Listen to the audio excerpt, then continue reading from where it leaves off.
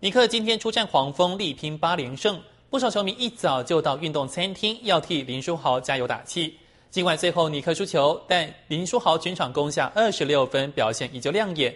球迷说，林书豪已经赢得所有人尊敬。大家相信，下一波连胜很快就会到来。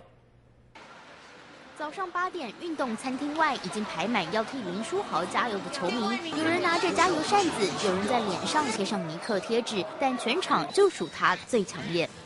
我在逛夜市的时候，我就看到这一件呢，而且它后面是写林来峰，对，所以我觉得很特别。刚好今天早起要来看球，所以我就把它买下来，而且自己做了一些造型，就剪了深 V 啊，然后剪了那个袖子，然后就来看林书豪，把它集气。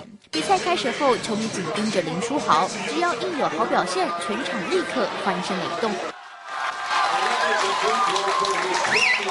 比赛终了前，战况陷入焦灼，球迷的心也跟着起起伏伏。虽然最后是尼克输掉比赛，终止了七连胜，但林书豪的表现依旧获得球迷赞赏。二十六分，跟科比讲的一样。不需要我讲什么了吧？没有一直赢的啦，对对不对？输一场 OK 啦，继续赢就好了。他已经赢得所有人的尊重，even though 那个失误虽然有点多，但是瑕不掩瑜啦。虽然输了，但是只是休息吧，下一个七连胜会再来的。